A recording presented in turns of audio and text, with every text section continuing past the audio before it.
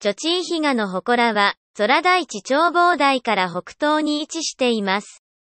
ただし、女地比嘉の祠は開放されておらず市から村で水晶を入手する必要があります。まずは北北東にある市から村に向かいましょう。市から村のレールカーの管理人萩に話しかけましょう。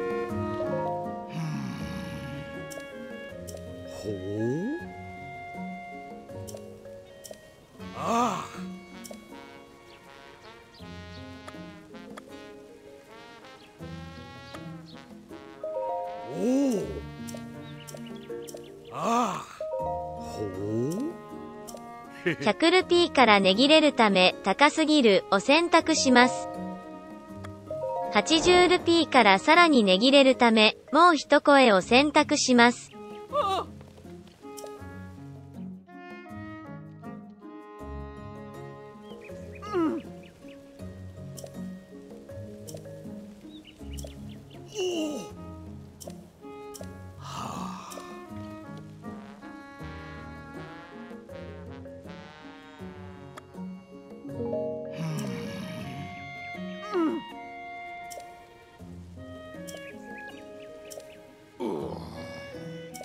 50ルピー以下に水晶は値切れません。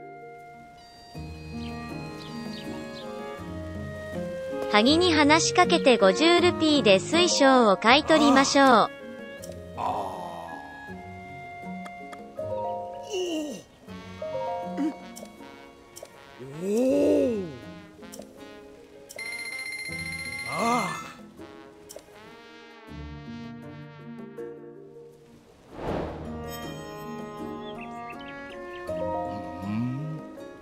萩に話しかけて今度はレールカーを利用できるようにしましょう。エピソードチャレンジ、ウィッタの独り立ちをクリア後に20ルピーを返金してもらえます。水晶をレールカーを使って下に運びます。なお、水晶に触れると女地比嘉の祠の方向に光が差して行き先がわかりやすいです。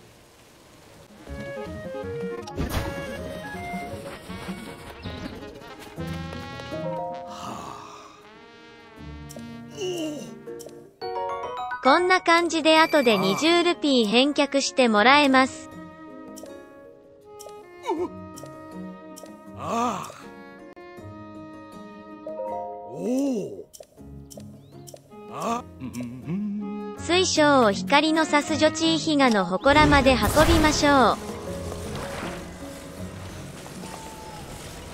祠前は川があります。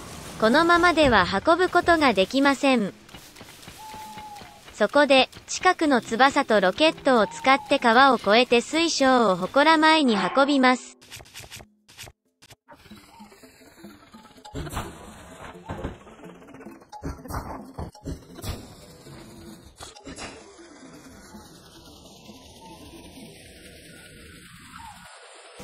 ロケットをつけた翼を祠の方向に向けます。水晶を翼にウルトラハンドでくっつけます。水晶を飛ばす前にセーブしておくと失敗してもすぐやり直せます。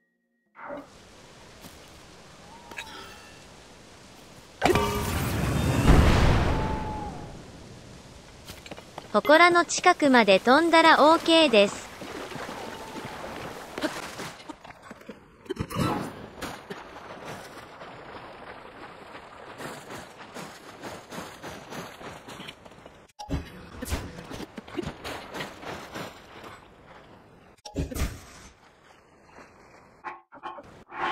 ロードしてやり直しても良いのですが、ゾナウギアの扇風機を使いました。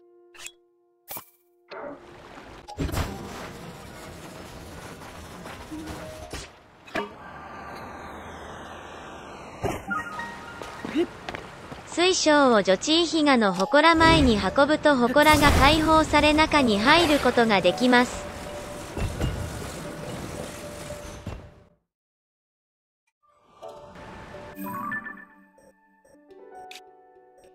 女地一賀の祠の位置の確認です。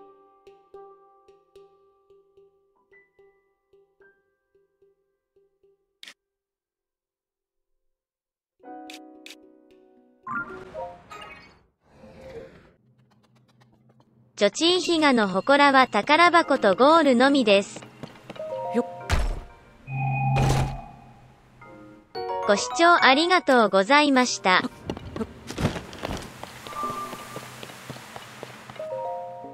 動画が良ければグッドボタン、チャンネル登録お願いします。